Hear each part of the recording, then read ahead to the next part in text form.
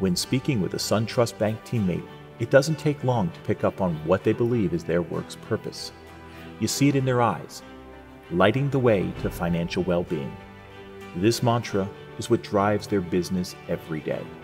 While their work takes on many forms, it is SunTrust Bank's dedication to community service and volunteerism that stands out in Central Florida.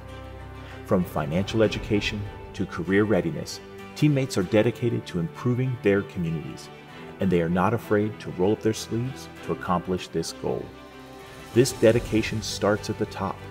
SunTrust Bank leaders have established a culture of service that they see benefits their team dynamic and adds value to the communities they live, work, and play.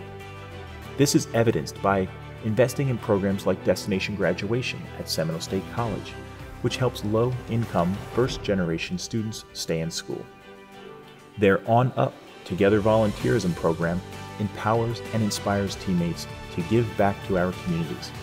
Since the launch of this program in 2010, teammates nationwide have dedicated more than 1.4 million hours, donated millions of dollars, and taught hundreds of financial education courses to children of all ages.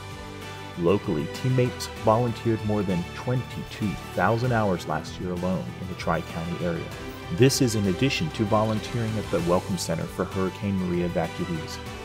When asked by fellow colleagues how they can get involved, Executive Champion Sandy Hostetter says, just start small.